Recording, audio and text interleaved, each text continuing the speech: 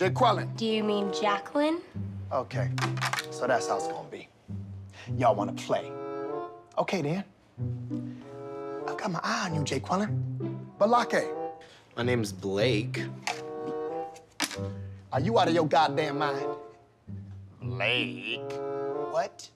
Do you wanna go to war, Balaki? No. Because we could go to war. No. I'm for real. I'm for real.